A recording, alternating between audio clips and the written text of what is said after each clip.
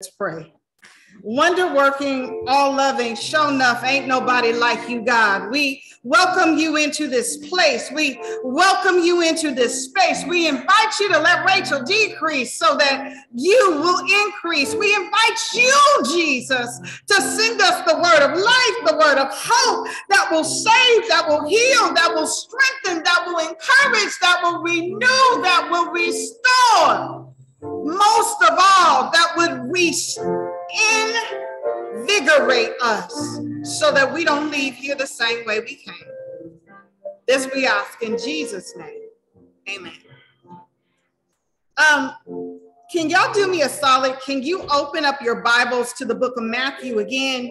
This time, I need you to go to chapter 14. I'm going to read nine verses I'm going to read verses 13 through 21. Matthew chapter 14, verses 13 through 21. When you have that, feel free to say amen. amen. Matthew chapter 14, I will be reading verses 13 through 21 from the New King James Version. Matthew chapter 14, verses 13 through 21 from the New King James Version. Won't you listen for the word of God? When Jesus heard it, he departed from there by boat to a deserted place by himself. But when the multitudes heard it, they followed him on foot from the cities. And Jesus, and when Jesus went out, he saw a great multitude and he was moved with compassion for them and healed their sick. When it was evening, his disciples came to him saying, This is a deserted place, and the hour is already late. Send the multitudes away, that they may go into the villages and buy themselves food. But Jesus said to them, They do not need to go away you give them something to eat. And they said to him, We have here only five loaves and two fish. He said, Bring them here to me. Then he commanded the multitudes to sit down on the grass, and he took the five loaves and the two fish and looking up to heaven, he blessed and broke and gave the loaves to the disciples, and the disciples gave to the multitudes. So they all ate and were filled. And they took up 12 baskets full of the fragments that remained. Now, those who had eaten were about 5,000 men, besides women and children. The message for us today is simply one word moved. So, this particular passage of scripture is a very interesting passage of scripture. Can, can y'all indulge me? Um, I'd like to suggest that Jesus was moved, and then he was moved, and then he was moved, and then he was moved. And every time that Jesus was moved, he acted in such a way that the situation that moved him changed. Um, the first thing that moved Jesus was probably something that would have moved me and you too. He heard the news that John the Baptist had been beheaded. He was moved. That moved him. That touched him. That got him. Um, it, it touched him and, and it got him and, and, and it messed with his mind and it messed with his spirit. I, I, I believe it messed with his mind and it messed with his spirit for a couple of reasons. First of all, they were related. John the Baptist was Jesus's cousin. When's the last time you heard that a family member passed and you weren't moved? That you weren't concerned, that it didn't trip you up, that it didn't make it a little more challenging for you to go about your daily life like you had been going about it. He was moved because he heard that John the Baptist died. He was moved because he heard that John the Baptist died because there were people in power who were trying to shut down the message of God to repent and get right with God. He was moved not just because John was killed, but he was moved because John was killed so that the ministry of God would die. That ought to move everybody. Uh, I mean, when, when you discover that somebody tries to shut somebody down, tries to shut somebody out, tries to stop somebody, tries to crush them just because they are trying to get folk to get closer to God, that ought to move you. It, it, it, it, it ought to touch your heart, it ought to touch your mind, and it ought to mess with you enough that you just might want to get a little bit more closer to the God who creates everything. He, he's moved enough that he takes time to connect with the God of all creation. He's moved enough that he decides that he has to spend some one on one quality time with God the Father, the Mother, the Creator, the one who runs it all. Have you ever been so touched and so concerned by news that you received that you just had to get close to Jesus?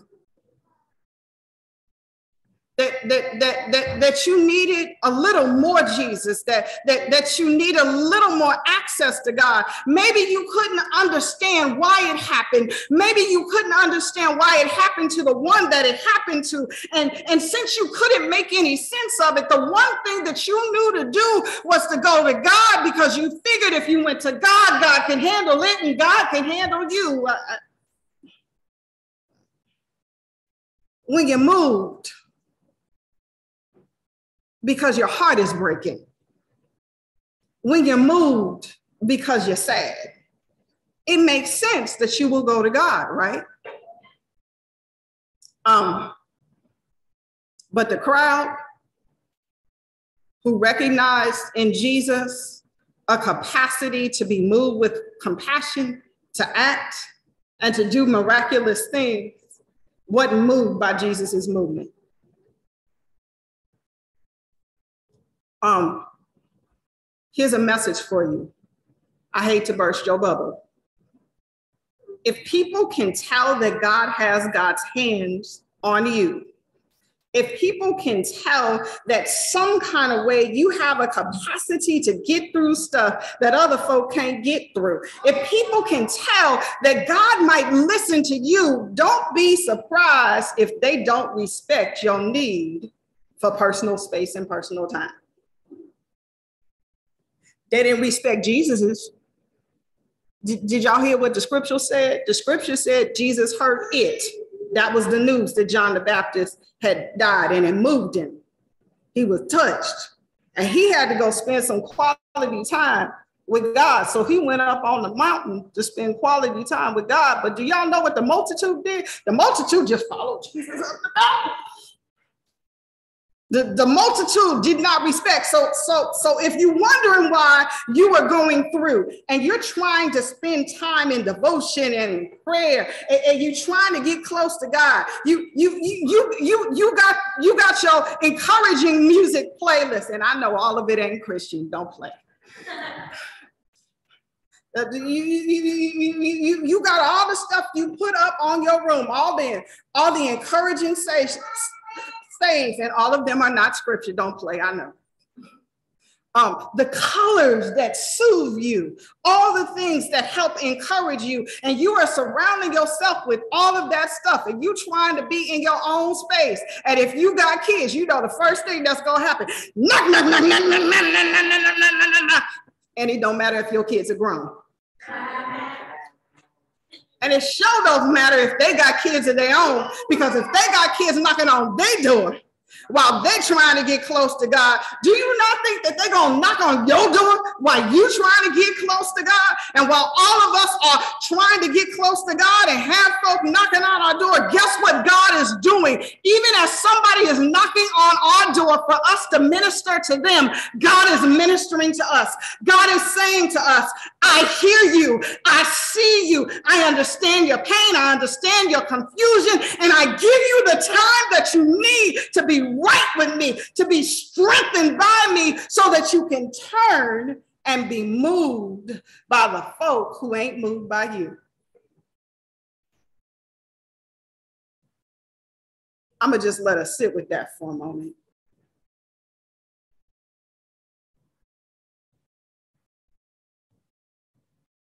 God really does expect us to be moved by compassion to act on behalf of others, even when God is moved by compassion to act on behalf of us. Because that's what Jesus did and it's what Jesus does. Watch it, watch it. He doesn't just do it once, he really doesn't, Be- because he's moved by the fact that, that the crowd is so full of hurt and pain and shame and confusion that they can't be moved by the fact that he is also filled with hurt and shame and confusion. But he's able to go to God and be renewed and be strengthened and be encouraged so much so that he can come away from his time with God and be moved and he begins to heal. And then he heals. And then he heals. And then he heals. And then he heals. And then he heals. And then night falls and everybody's hungry. And the disciples panic. Jesus, what we gonna do now? We got all these people can't you just tell them to go away?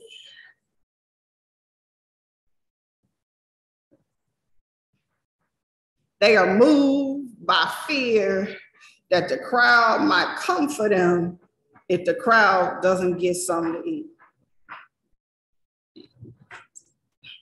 And so they go to Jesus. It makes sense they go to Jesus. When you're scared, you ought to go to Jesus. When you're confused, you ought to go to Jesus. When you're not sure how to handle the situation, you ought to go to Jesus. It makes sense that they go to Jesus. But what's interesting about Jesus is Jesus, who has turned to the multitude, now turns to the 12. He's moved with compassion for the very folk who ain't moved with compassion for the other folk. And watch what Jesus does. Jesus goes, yeah, I'm not about to do that. Here's what I need you to do I need you to let me encourage you. I need you to let me speak life to you. I need you to let me show you that even that which you have that you know ain't enough for you can be enough for more than you.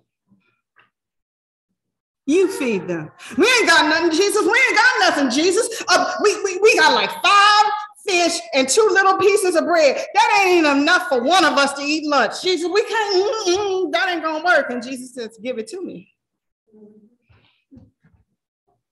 Thank you, God, for providing when we thought that there were no provisions available. And then he begins to hand it to the 12. And he tells the 12 to hand it to the multitude. By the way, the number 5,000 is only the men. If one man came with one wife and one wife came with two children, that's real conservative for the time period, by the way. That, that means we're talking about there could have conceivably been somewhere like a thousand five hundred folk. That's conservatively. Were fed with five fish and two loaves of bread.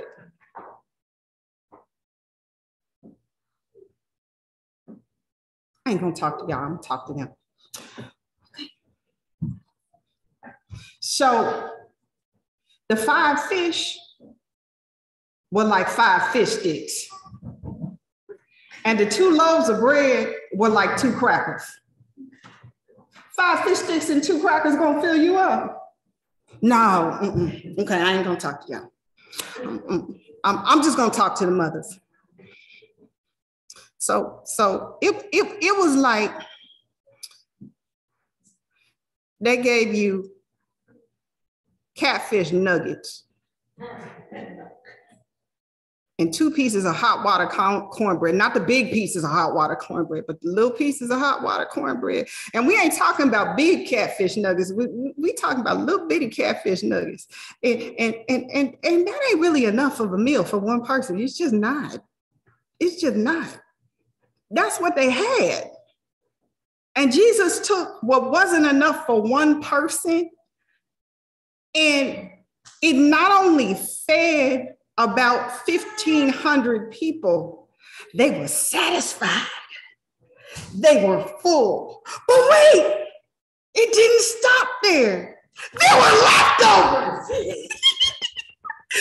Watch this. Watch this. When you think you are full and you can't pray anymore, when you can't read the scripture and understand anything anymore, when somebody knocks on your door and you don't have yet another good word to encourage, if you take your lack of resources to God, God can take what you think is nothing and do more than something with it. God can take what you have considered as invaluable and unuseful, and God can use it to bless you so that you can bless them, so they can bless them, so they can bless them, so they can bless them, so they can bless them, so they can bless them, so they can bless them. And when God is done, there's still more blessing left over for everybody else. But it all begins with whether or not you and I can be moved. But watch this. God isn't necessarily asking us to be moved by the other. God is asking us to be moved by a God who is moved by everybody. God's not asking any of us to do more than what God asks of God's self. And God never asked us to move beyond our capacity to move. It's important for you to hear that because I can't have y'all going out to church. So the pastor just told me that when I didn't have any resources, I didn't have anything left, I was supposed to give what I didn't have. That ain't what I said. And I ain't about to let you put that on me. What I said is when you think you have nothing left, take what you don't have to God and let God handle it. If you give what you don't have as well as what you do have to God, God will take what you give and God will use your gift to prove to you that your nothing can become something, and that nothing that God asks you to do is beyond your capacity to do. Seriously, it means there's some folk we got to forgive. It also means there's some folk we got to no longer allow access to our lives. Forgiving somebody does not mean that I forgive you and our relationship is the same as it was before whatever messed up caused the need for me to forgive you. Forgiving just means you no longer have power and I no longer have power to mess with either of our spirits. I refuse to allow what happened to wear me down. And if in my forgiving, I no longer have the capacity to look you in the face and hear your voice, because I ain't there yet, then that means I forgave you and I'm setting you free. Now, some of y'all gonna be, that ain't forgiveness. How you know? Have you tried it? Because it sure ain't forgiveness if you force yourself into the same space and place as somebody else. And every time you in their face and you in their place, you're gonna see, Lord, what you need to do is you need to get them out my face. Because if you don't get them out my face, and if somebody don't get them out my face, we gonna have an issue. You ain't forgiving nobody. If you're trying to force yourself to be in the same space and place as somebody so that you can forgive them. But all the time that you in the space and the place, you doing get them God prayers, you did not forgive. And if you are not at a space and a place where you can be in the same space with folk who have hurt and harmed you without praying, get them God prayers, then you need to do something different. I'm, I'm, I'm just saying. If you allow God access to what you think is not enough, just your desire to say, I forgive, is enough if you give it to God. If you give your desire to forgive to God, God will take your desire and build from your desire true forgiveness. But if you try to do all this forgiveness stuff on your own, you're going to fail. You know why you're going to fail? God ain't stupid. God put in us the instinct to protect ourselves from hurt and harm. The reason why forgiveness doesn't come easy is because what is triggered in us is a self-protective something that goes, they're gonna hurt me again, they're gonna hurt me again, they're gonna hurt me again, they're gonna hurt me again, they're gonna hurt me again. If you want to truly be able to forgive, you got to give the desire to forgive to God and let God use your desire to do what you can't do on your own. And you will be moved and you will find yourself forgiving the very person and the very thing that you thought was unforgivable. Look, church, if God in Jesus Christ can be moved in the midst of his suffering and his fear and his confusion and his pain, not once, but twice, all within the same situation, if God can be moved to turn to you and I, when God knows every now and again we're going to turn our back on God, if God can be moved like that, then certainly you and I can be moved too. Especially if we say to God, God, I want to be moved. It's hard to move, but I want to be moved. It's hard to turn to somebody else when I'm hurting myself, but I want to be moved. I want to be like you. I want to live like you. I want you to be proud of me. I want you to tell the angels in heaven that I am yours. I want to be moved, but moving is hard. So, if God, if you would just move me, I'll move. If you give God your desire, God will build on your desire and you will discover yourself moving just like the 12 did. And your movement just might move somebody else. This is the word of God for the people of God. All thanks and praise be to God.